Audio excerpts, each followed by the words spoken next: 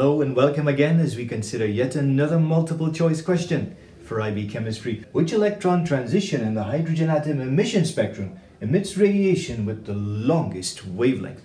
This question is built out of topic 2 for IB Chemistry where the focus is on understanding the emission spectrum of hydrogen, an activity you might have done where hydrogen is placed in a tube and electricity is passed through that tube and then in a dark room you look at that light through a diffraction grating and you see the emission spectrum of hydrogen, at least the visible lines associated with that spectrum, all of the lines that end up from transitions from higher levels to the level n equal to 2 gives you the four characteristic lines of the visible spectrum of hydrogen from N3 to N2. When an electron is excited from N2 to N3 and it drops back down, it emits a photon of a specific wavelength and frequency. And of course, you can calculate the energy using the relationship E is equal to h nu, where nu is the frequency. And you get all of the lines of the visible spectrum from transitions from these higher levels, n equal to 4, n equals to 5, n equals to 6. But what you do have to know also is that when transitions are from the higher levels to the ground state, the n equal to 1 level, and of course we need to draw this each level, the difference between one level and the next gets smaller as you go up, n equals 1. Transitions from higher levels to n equal to 1, they also happen but they don't give you any of the lines that you can see in that visible spectrum that you might have looked at in class through a diffraction grating. Every time there's a transition from a higher level down to n equals to 1, this energy gap is so much bigger that the frequency associated with it is in a part of the electromagnetic spectrum that is beyond the violet part. It's in the ultraviolet part of the spectrum. And here you have the infrared part of the spectrum.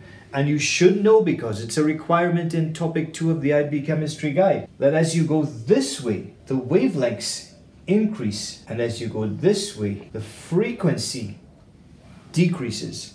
So here you have higher frequencies. And this area here, once you get anything in the ultraviolet area, it means that it's high frequency, high energy. So the question here is which electron transition in the hydrogen atom emission spectrum emits radiation with the longest wavelength? And so far we haven't answered that question yet. Now, when you get something in the n equals to 1 level, it's going to be high frequency, but wavelength is going to be quite short actually. So it's not going to be anything n equals to 1. What about n equals to 3 now?